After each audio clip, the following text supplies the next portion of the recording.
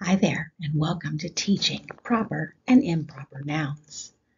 I'm Robin Norgren, and I'm a third grade teacher, and I would be happy to talk to you all about this. Here are some examples of proper nouns. Names of people, like Jennifer or David, or whatever your name is. Names of animals, like Max, who's a dog, or Luna, who's a cat. Names of things like Nike for shoes or Lego for your toys. Names of places like the city of New York or the Statue of Liberty. Nouns are words that name people, animals, things, and places. Proper nouns are specific names of people, animal, names, or places, and they always start with a capital letter. Now, an improper noun are general names of people, things, animals, or places, so they do not start with a capital letter. Now, let's talk about each one of the categories of nouns. What are proper nouns? Proper nouns are specific names of people, things, or places. And remember, they always start with a capital letter.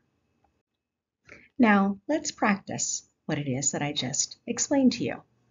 Which of the following is a proper name? A. Apple. B. London. C.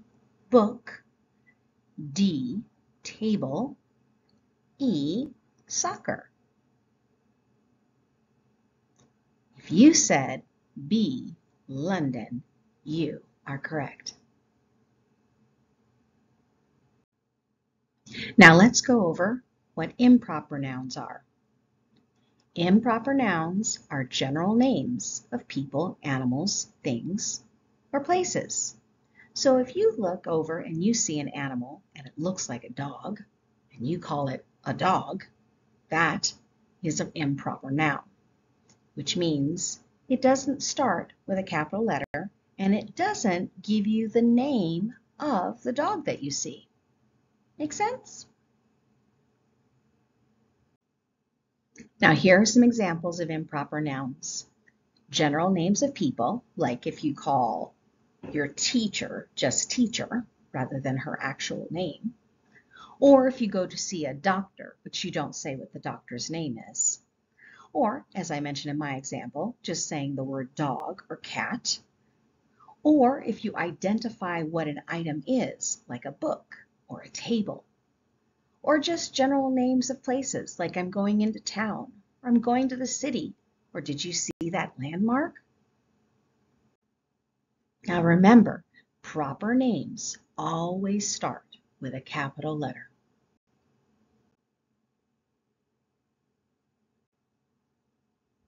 Using proper names in sentences.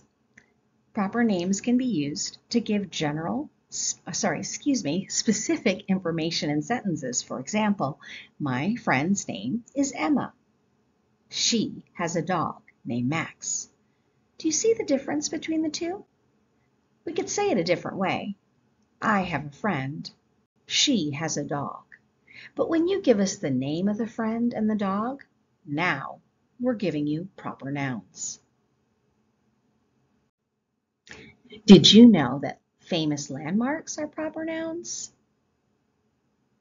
Like the city that you live in. Maybe it has a famous landmark. I live in Arizona, so one of my famous landmarks would be the Grand Canyon. Here's some fun facts about proper nouns. Proper nouns can also be the names of famous people or names of books, movies, and more. Examples include Harry Potter, Mona Lisa, the Eiffel Tower. Proper names are important for giving specific details and making our writing more interesting. Now, here's some more questions, and this time I won't put an answer that makes you feel confused, just to make sure you're paying attention. Is dog a proper noun or an improper noun? Is Paris a proper noun or an improper noun?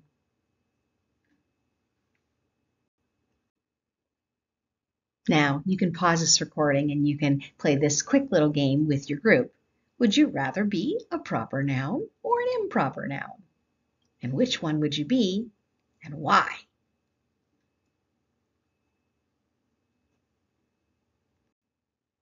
Now let's put all this information into action. And there's a couple of different ways you can do it. You can do it as partner work, or you can also do it as a writing activity. So discussion could be share one proper noun you would include in a story if you were telling a story. Share an idea with your partner, or you could write it down. Think about this. What type of noun is easier to write a story about? And then finally, write a topic sentence using your proper noun. Thanks so much for stopping by.